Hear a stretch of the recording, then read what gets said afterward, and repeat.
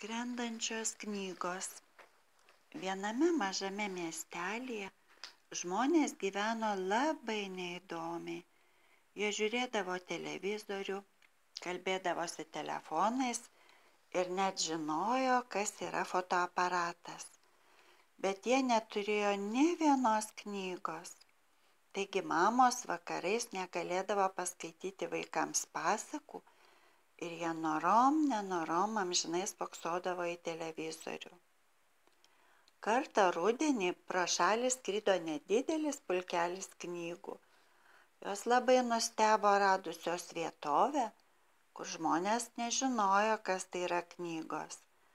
Mes turime jiems padėti, tarė viena iš jų.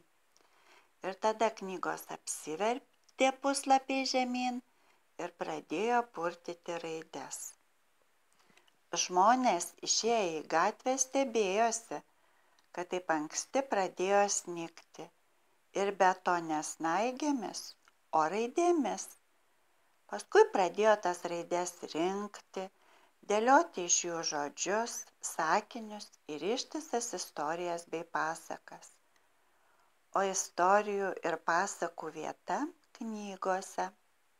Taip miestelėje ėmė rastis knygų ir kiekvieną vakarą mamos prieš miegą vaikams skaitydavo pasakas, o kai vaikai užmigdavo, pačios įsijungdavo televizorių.